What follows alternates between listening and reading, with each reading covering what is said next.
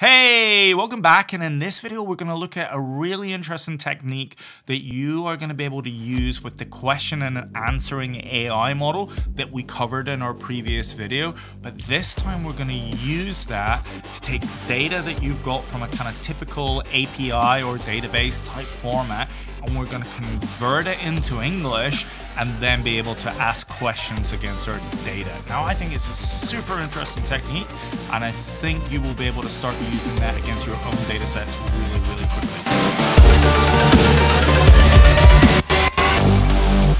Get started, what I thought we would do, which would be a bit of fun, is we will open up Hugging Face again, and then I'll show you what I mean by that. And then once that works, we will go and then sort of code it up in Python really quickly. And then, of course, you can use that in JavaScript and stuff uh, later on. So what I'm going to do is I'm going to open up uh, my browser, and we're going to go to Hugging Face, just like we did in the previous video. Um, and what we're going to do is we're going to select the questioning and answering filter, as you can see. And I'm going to pick one of the existing models. It doesn't really matter which one I'm used, but i am going to use the BERT uh, large uncased, the same model as we used the last time. And then as you can kind of see before, with Hugging Face, you can you can ask a question, but you need to put the text of what you want to ask a question against. So I thought it would be interesting, and I'll show you how this is going to work. But I thought it'd be interesting to be able to ask questions of data sets, like things like schedules. So as everyone probably has figured by now, I'm a huge NFL fan. So I thought what could be useful is imagine I had a bot where I were able to ask questions about the NFL schedule. So you could imagine me typing in something like uh, in week one of the NFL season, Tampa Bay uh, Buccaneers play the Dallas Cowboys, and I can never remember when it is, so I'm just gonna sort of steal this text actually from here. Um, we'll just put it in here. So in week one of the regular NFL season, Tampa Bay Buccaneers play Dallas Cowboys in Tampa, Florida at the Raymond James Stadium on September the 10th, 2021 at 8 p.m. Eastern Time. So that's the kind of context, but as you can imagine, I can start asking questions of that now. So if I was to type in something like, who are the Dallas Cowboys playing in week one, we can just hit compute It'll take a second and then it'll come back with Tampa Bay Buccaneers. But I can also ask things like, when are the Dallas Cowboys playing in week one? And then it's going to come back and say September the 10th. So it's looked at this and figured out September the 10th. I can even ask, what time are the Dallas Cowboys playing at? 8 p.m. Eastern time. And I can also ask it, who are Tampa playing in week one?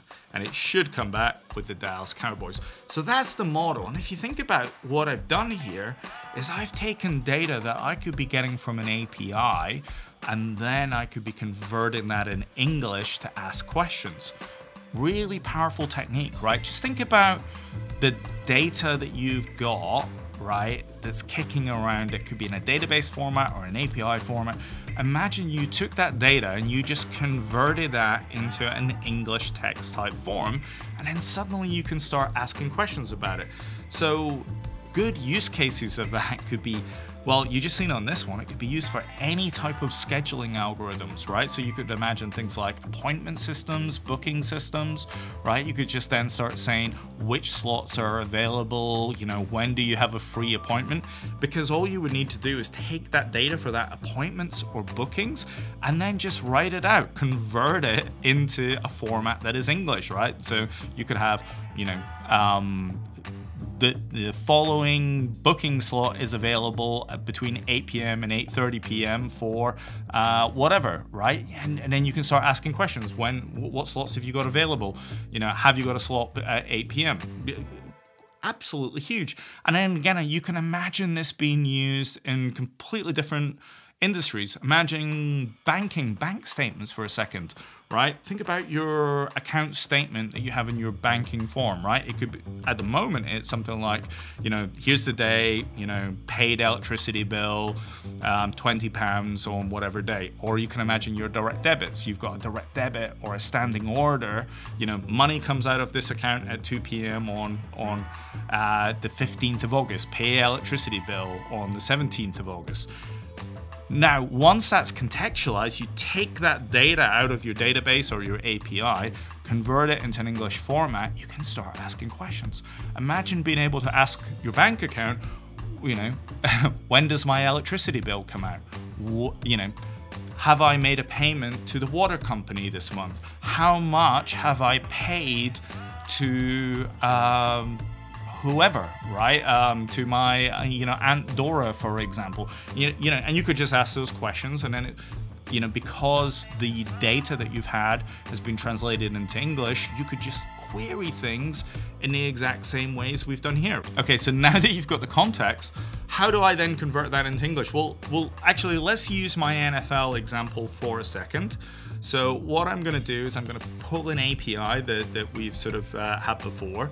Um, so if I were to go to, I think if I take the ESPN uh, API, um, you can see ESPN has got uh, an API which um, essentially returns back a sort of JSON version of the schedule and I can put in dates and queries behind that. Now that is pretty unreadable so if I just bring this up on something like Postman for a second, if you've never used Postman before, it's an API Explorer tool.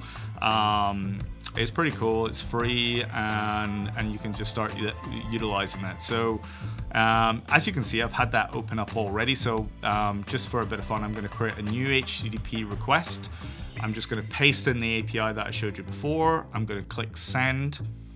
And then you can see it's coming back with uh, the formatted data. So you, can see in this case, it tells me uh, the various dates, etc. But if I were to look for, let's just uh, find um, Tampa in this case you can see here's an event, uh, Dallas Cowboys at Tampa Bay Buccaneers, and then it's got all the information I would need. It's got the date, it's got the uh, the stadium that it's playing at, the state, the uh, it's got the capacity as well. Who's playing? Tampa Bay's at home, uh, Dallas Cowboys are away. So there's there's my data, and then all I really need to do, if you think about it, let me just close this down for a second is I all I really need to do is uh, just parse that API into English format. So if I bring up Visual Studio Code, um, I've pre-written this. You don't want to watch me sort of type this out, but but the quick version is what I'm gonna gonna do is I've sort of uh, taken that JSON file, I've stuck it in this regular week one JSON for a second. So it's the exact same JSON you saw before. I've just put it in a file. And then what I'm doing here is I'm reading that file, so that regular week one JSON, which is the same data that we got from the API earlier, and then I'm just uh, parsing that. So I do a JSON parse, and then I'm going to call my parse schedule uh, function. And then if you look in this, all it's going to do is there's a little bit of date calculation. Remember I showed you when it was being played. It's a little bit of a date calculation, but all it's going to do is loop through all of the week one uh, matches there for a second, or events in this case. It's going to do a bit of conversion to get the date and time. And then you can see I'm using a bit of template literals in Node.js, just in JavaScript to say in week blah. I'm passing in week, match type, da da da, you know, and then I'm saying who the home team is, I'm, and I'm saying they're playing against the away team. The game is being played in, uh, you know, in Tampa Bay, uh, in Florida, at the, the stadium. The game will be played on the formatted date at the formatted time, Eastern time. So I'm just doing that, and then if I was to run this very quickly, so if I type in node schedule to text, you can see uh, it's just generated in text format um, the textual representation of that data. So if I was to take that, let's just copy that, and we, if we come back into uh, Hugging Face for a second, and now if I get rid of that, that, that sort of one in week one example, I could paste every game. So in the same way, is it was coming back with uh, Dallas Cowboys before. Uh, when I asked who are Tampa playing in week one, that still is the same answer. But now I can ask questions about any of the teams. So if I want to know who New York Giants are playing, I can just type in New York Giants and uh, hit compute, and then you will see the New York Giants are playing. It will take a second. The Denver Broncos, and then I can uh, change New York Giants to Denver Broncos, and we can hit boom, and then it should come back with the New York Giants which it does. And then we can say uh, we can we can ask uh, what things like what time is the New York Giants uh, playing at in week one, right? We can find out what time they're playing. So let's hit compute. Give it a second and you can see it's at 4.25 Eastern time and we can also ask what day. So across the board, because I've, uh, will come back in a second, um, across the board, because I've converted my data and you see it's on September the 12th. Because I've converted my data into English textual form, that whole data set is queryable, and I could I could increase it, right? I put one week in there, but I could put all 16 weeks in if I if I wanted to. But you can see it's it's picking up some pretty cool stuff. So again, if I wanted to know what stadium, there you go. The Atlanta Falcons are playing the Eagles in Atlanta Mercedes-Benz. So I can say what stadium is the Philadelphia Eagles.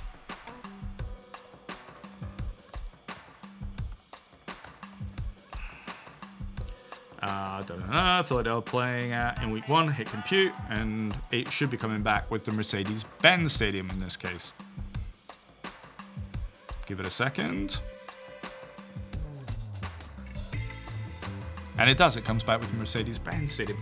This is a super powerful technique, as I said, right? Just imagine the data that you've got, the data in your databases. We've said bank statements as an example, we've said direct debits, you could do the same for insurances, bookings, scheduling, anything you hold data for, you could be using this exact same technique, which is take the data out, convert it into some sort of English format, right? Add some context. You can pull data from multiple sources, make it a sort of English essay type thing, and then be able to run question and answer models over the top. Provide chatbot capabilities. Really interesting technique. And again, it's something that you should go and, and sort of play with. And of course, as as we've sort of seen in previously, if I wanted to then uh, run that in something like Python, I could very quickly, let me just close this. I could open up my uh, Q&A example before, or if I wanted, I could just really quickly um, type it up. So if I just do new notebook here for a second, we'll do exactly what we did in our previous video. We could just install the uh, Hugging Face uh, Transformers library like we did last time. We just hit pip install. Um, that's going to install the Transformers library. And then what we can very do, very quickly do is uh, code up a brand new um, uh, question and answering model. So we type in uh, from transformers, uh, you know, import. We'll use the pipeline uh, libraries uh, as we did before. Um, again, in my previous video, I'm sure it comes up in, uh, on the top right hand corner, then we look at how you can use that with something like TensorFlow, and then in future videos we'll look at how we can sort of embed this with JavaScript as well.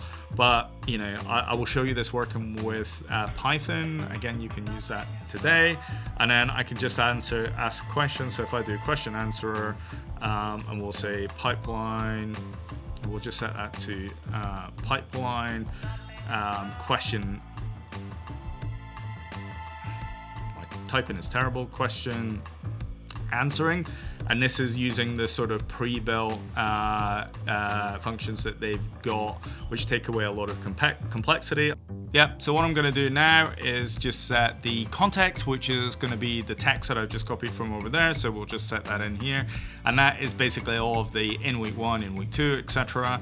And all we're gonna do now is we're gonna ask a very quick question of the routine. So in our case, what we will do is ask it, who are the Dallas Cowboys playing in week one? So we'll say question is equal to uh, who are the Dallas Cowboys playing in week one.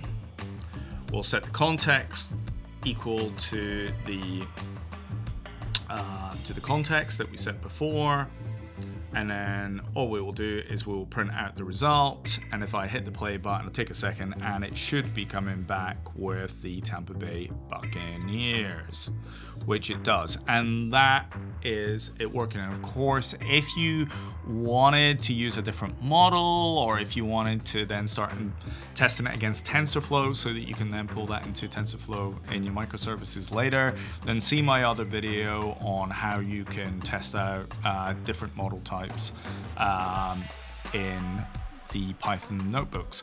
So anyway, that has been our video. I hope you think this is a super great technique and I hope you uh, pick that up and start using it for your own use cases. I can think of a ton of use cases. I'm sure you can too. Anyway, I will catch you soon in the next video. Thank you. Goodbye.